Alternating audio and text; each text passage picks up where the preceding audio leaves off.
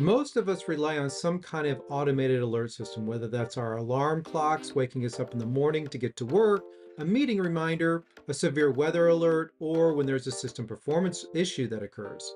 Most of us take for granted, however, how reliable those systems are. What happens if the alerting systems that we rely on each and every day fails? AppDynamics is certainly not immune to payload misconfigurations causing alert issues or gateways being unreachable. There could be any number of reasons why an alert process or system fails. And just like the battery in an alarm clock, AppDynamics provides a cardinal option that helps keep your alert systems in check. This feature is part of the SaaS controller released in April of 2023.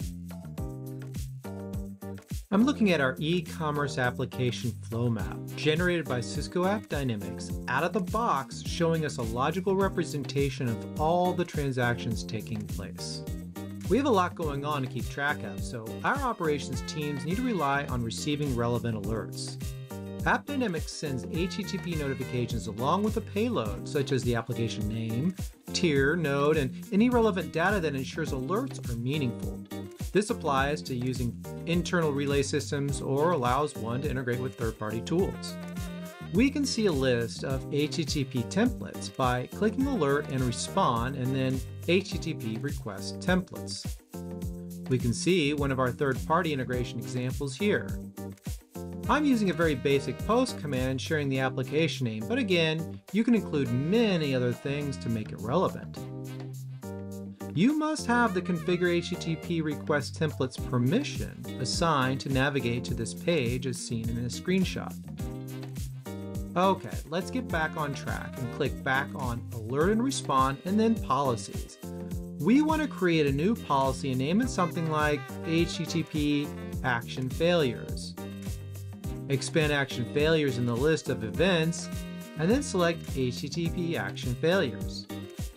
For the actions, we'll need to add how we want to receive notifications of action failures. You can leverage an existing method or create a new one, but obviously it needs to be different than HTTP requests. These can be in the form of an email or with or without a template, an SMS message, open a JIRA ticket, but using an email would probably be the best choice here. An HTTP request action sends an HTTP request along with an optional payload in response to an event that occurs. These types of actions allow you to integrate AppDynamics alerting policies with third-party HTTP APIs.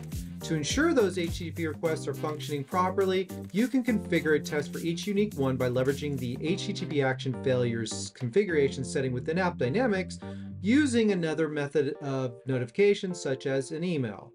Be sure to check out our documentation on Alert and Respond for more details. Have a tip you'd like to share? Share it in our community share tip section, and who knows, maybe your tip will be the next tip of the month. Thanks for watching.